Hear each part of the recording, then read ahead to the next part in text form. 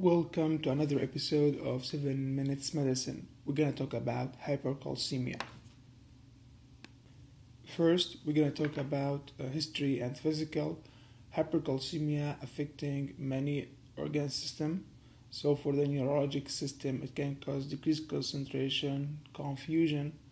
For the renal system, it can cause a picture of diabetes insipidus like polyuria and polydipsia in the GI, it can cause nausea, vomiting, abdominal pain, and the picture of pancreatitis. For the musculoskeletal system, you might have some kind of bone pain. For the cardiovascular, the most important thing, it can cause short QT interval. So the first step in uh, diagnosis is to confirm if this is real hypercalcemia because the lab will send you the total calcium so you can use this equation to correct for the albumin. Um, there are many other equations you can use but I feel comfortable using this equation. And if uh, the calcium is still high then you can check ionized calcium. After that you can order PTH assay to differentiate PTH dependent from PTH independent. So if the PTH is low or low normal like less than 20 then probably I will say this is PTH uh, independent hypercalcemia. So the differential diagnosis uh, of that first you have uh, to rule out immobilization, especially in old age. You have also to rule out milk alkali syndrome by asking about the excessive use of antacids, especially if the patient has alkalosis and low magnesium. Also, it's very helpful to order 25 vitamin D level to see if it's elevated then most likely this is vitamin D intoxication. And also 125 vitamin D level uh, if it's elevated this is most likely lymphoma and granulomatous disease.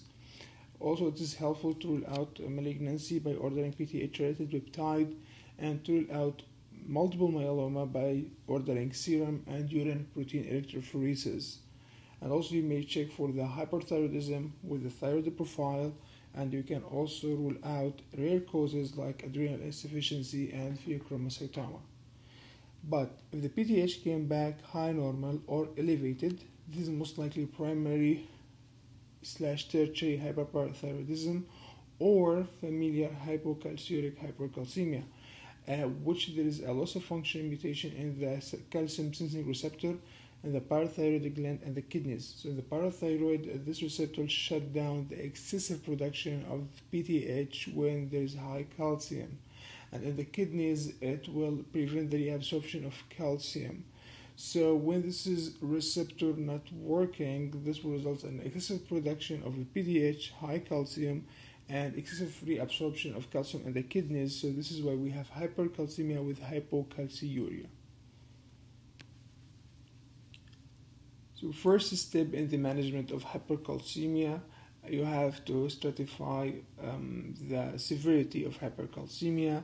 So it can be a mild, less than 12, or a moderate, 12 to 14, or severe, more than 14 milligram per deciliter. So if it's mild, there is no immediate treatment. You have to avoid the precipitant factor like antacids or vitamin D supplement, and also you can advise patients to have good hydration. If it's moderate, then if there is no symptoms, I will treat it as mild. But if there is severe symptoms, I will treat it as severe hypercalcemia. In severe hypercalcemia, the first step is volume expansion with significant amount of fluid, like tons of fluid you can give 200 to 300 cc per hour and you can adjust that to maintain at least 100 cc urine output per hour. Also, you can use calcitonin, which can be uh, given as uh, intramuscular or subcutaneous uh, injection. You can give the first dose and see the patient is responder, and then you can repeat it every 12 hours I will not give more than four doses because of tachyphylaxis. You can also use bisphosphonate like zoledronic acid or pamidronate, and uh, those medications will take one to two days to kick in. So ideally, you have to start giving them on a presentation to see the effect after uh, two days. Also, you can use denosumab if there is contraindication to bisphosphonate, especially in malignant hypercalcemia, and it will take two to four days to kick in.